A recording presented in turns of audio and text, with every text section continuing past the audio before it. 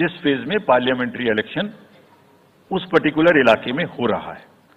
वो कब हो रहा है, वो मैं आपको जब फ़ेज़ आएँगी तो उसमें दिखा दूँगा। But all the twenty seven twenty six assembly constituencies will go to the by-poll so that during this election itself, we can complete this entire process. अगर आपने नोट कर लिया हो तो now I come to the assembly elections साथियों, चार राज्यों में असेंबली इलेक्शंस, जैसे मैंने बताया था, जून में खत्म हो रहे हैं।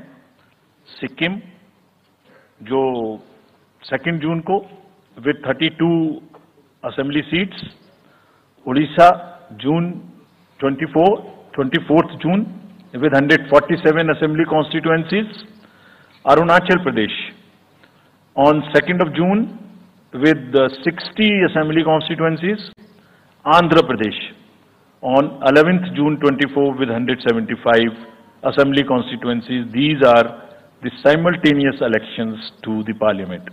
They will be held simultaneously. They will also be held in the same phase where the parliament elections will be held. So now, when I tell you the parliamentary elections, then I will tell you. But in case of Andhra Pradesh, the date of issue of gazette notification would be 18th of April 2024, or date of poll would be 13th May 2024. तो आंध्रा के case में notification 18 अप्रैल 24 को होगा और date of pole 13th में 24 को होगी। इसके बाद अरुणाचल प्रदेश में date of gazette notification 20 March को होगा और डेट ऑफ़ पोल 29 अप्रैल को होगी। 20 मार्च को गजट नोटिफिकेशन 29 अप्रैल को date of poll sorry sorry 19 19 April को. 20 मार्च 19 अप्रैल. इस प्रकार सिक्किम में भी 20 मार्च और 19 अप्रैल. 20 मार्च को नोटिफिकेशन 19 अप्रैल को 19 अप्रैल को date of poll Odisha. Odisha में first notification this will be conducted in In phases and first phase would be on 18th April and date of poll would be 13th May. Fifth phase में होगा second phase of the assembly of Odisha 26th April and 20th May. Then sixth phase and seventh phase also Odisha would have the assembly elections. Sixth phase being on 29th April and 25th May elections. ये सब आपके साथ में हम अभी share कर रहे हैं ताकि आपको लिखने में रिपोर्ट करने में इसको आसानी हो coming to the general elections to the Lok Sabha जो विश्व का सबसे बड़ा लोकतांत्रिक त्यौहार है, सबसे बड़ा लोकतांत्रिक त्यौहार biggest 543 parliamentary constituencies of which 84 are reserved for एससीज and 47 are reserved for STs तो इस 543 पार्लियामेंट्री कॉन्स्टिट्युएंसीज के महा त्योहार में शेड्यूल बताने से पहले सभी वोटर्स का फिर से हाथ जोड़ के आग्रह, अनुरोध, गुजारिश that please please join for the voting come on the day of voting छुट्टी मनाने ना जाएँ. ज़रूर आ जाएँ. Schedule of the Lok Sabha poll Phase one will do it in seven phases as was done last time seven phases. Phase 1 will start from 20th March notification, five days from now. And last date of withdrawal would be 30th March and date of poll would be 19th of April. इसमें phase one का schedule एक दिन से हमें दो बार करना पड़ रहा है। फिर बिहार के लिए वहाँ एक फेस्टिवल है। तो नोटिफिकेशन की डेट सेम है, लेकिन बस लास्ट डेट ऑफ़ विड्रॉल हमें 30 मार्च की जगह 2 अप्रैल सिर्फ़ बिहार की फ़र्स्ट फ़ेज़ के लिए करनी पड़ रही है, क्योंकि वहाँ त्यौहार है। और 19 अप्रैल को यहाँ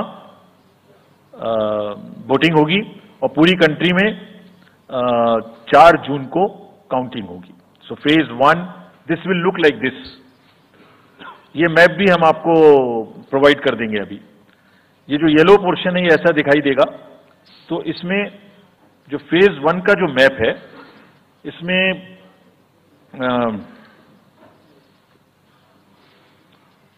नॉर्थ ईस्ट नीचे तमिलनाडु, राजस्थान सेंटर में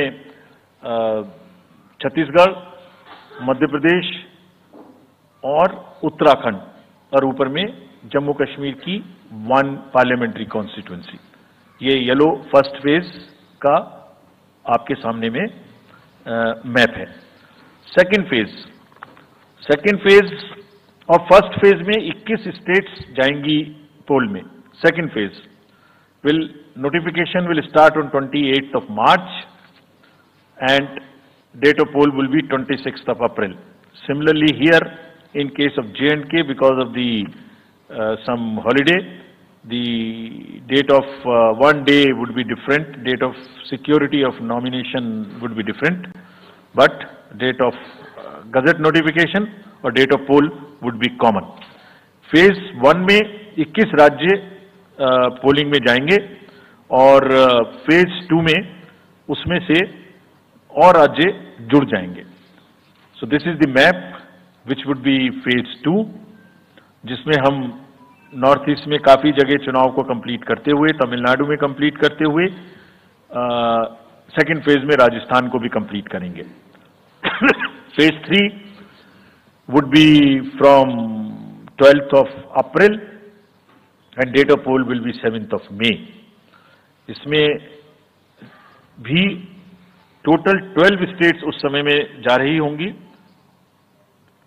और इस फ़ेज़ में तीन नए राज्य में चुनाव शुरू होगा। इसका मैप कुछ इस तरह से दिखाई देगा। राजस्थान हम कवर कर चुके होंगे, तमिलनाडु कवर कर चुके होंगे, केरला कवर कर चुके होंगे गुजरात इसमें कवर कर लेंगे नॉर्थ ईस्ट पूरा कवर कर चुके होंगे और हम नए राज्यों को मिला के तीन इसमें नए राज्य भी जुड़ेंगे। फोर्थ फ़ेज़ में 18 अप्रैल को गजट नोटिफिकेशन होगा। और date of polling would be 13th of May. Date of counting in the entire country would be 4th of June for all by-elections, for the assembly elections, for the parliamentary elections. इसका map कुछ इस तरह का दिखाई देगा इस समय तक हम इसमें Telangana Andhra Orissa would start and by that time other than that entire South India would be complete entire western India would be complete, northeast would be complete. और फिफ्थ फ़ेज़ 26 अप्रैल से शुरू होगी और 20 मई तक चलेगी। 20 मई तक डेट ऑफ़ पोल होगी। बीच में नॉमिनेशन स्क्रूटनी और विड्रॉल की डेट्स रहेंगी। Counting of course is fourth of June it will look like this